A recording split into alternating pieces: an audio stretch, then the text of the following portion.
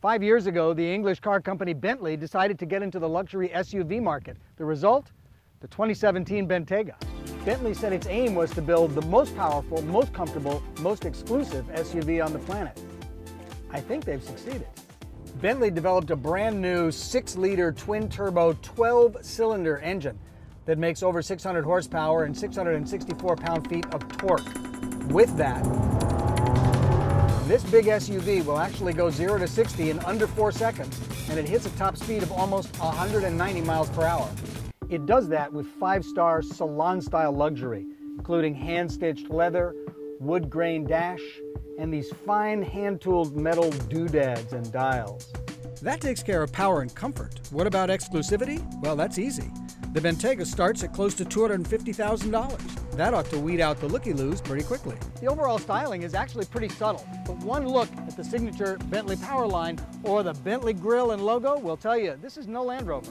By engaging the sport settings, you activate a new suspension system that Bentley has developed specifically for this vehicle. And it makes this big, beautiful boat handle like a track car. Other transmission settings include options for comfort, for snow and ice, for sand and mud, and even more. Despite all of that horsepower and torque, when you really stick your foot in it, there's a lag before the engine really comes on. I find that a little disconcerting.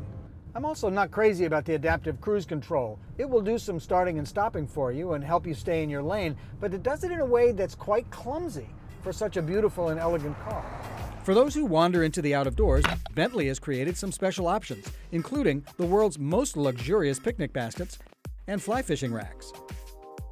For around town driving, Bentley has included a suite of highly sophisticated driver assistance programs, including one that will do literally all of the driving for you in city traffic, and another that will steer and brake for you if you're about to rear end someone in the freeway or run down a pedestrian in a crosswalk.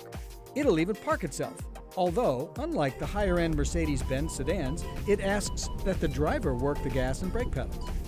Is the world really ready for an SUV that costs a quarter of a million bucks? Apparently it is. Bentley originally imagined they'd sell about 3,500 Bentaygas a year. They say they've shipped 5,500 of them already and are planning to build more than that next year.